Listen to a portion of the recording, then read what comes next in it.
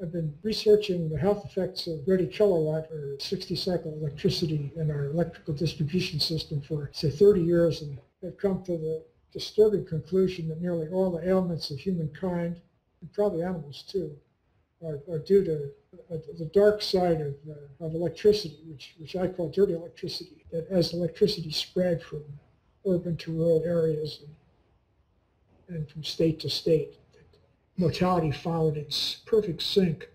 In other words, uh, if you looked at rural areas compared to urban areas in the 20s and 30s, huge differences, 50 to 80 percent differences in mortality, with the mortality being higher in the electrified areas.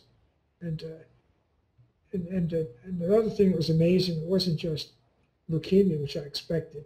I showed that in kids that it was related to uh, electrification, probably maternal exposure. But all the all the all the cancers, breast, prostate, cardiovascular disease, and the one that really surprised me the most was suicide. That is an EMF disease, and uh, it makes good sense because depression is part of the the, the, the symptomatology.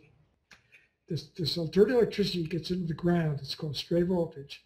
It affects the milk production. It affects calving.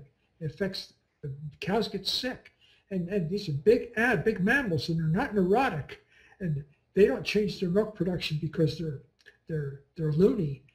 It's the stuff the stuff gets them, makes them sick, and and you can measure it. And uh, and he they did a great study showing which harmonics and which frequencies are most detrimental uh, uh, and have the most effect on milk production. And uh, hey, let's face it, if it affects them, it's affecting us. I know it's affecting us. Yep, and I love the fact there's no placebo effect with animals. It's fantastic.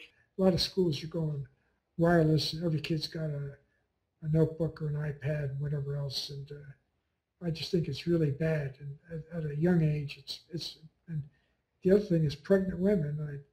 I I think that's where the problem is for the next generation, and I just hope we haven't lost a generation coming down the pike. You mean because of the fact that our sperm count will be lower and that we're just- frying all the eggs?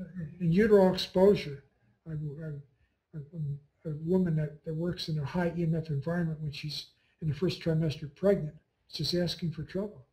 And so finally, finally now, after 30 years of doing this, I think I know how, how what happens, where the pathology is, and, and hopefully what we can do about it. Unfortunately, the powers that be uh, don't care to, to address what they're going to have to do.